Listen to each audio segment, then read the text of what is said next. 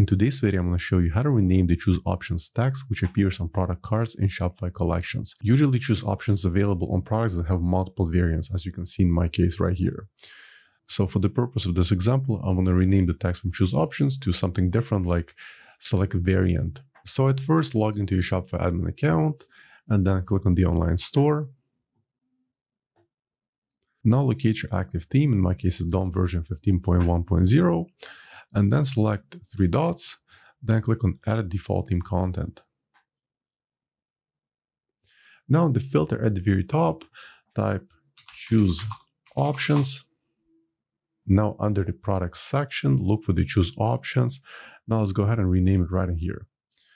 I'm going to rename it to Select Variant.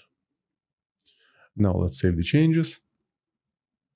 Now allow a few minutes for the changes to update in the system and then go back to the website and try refreshing the collection.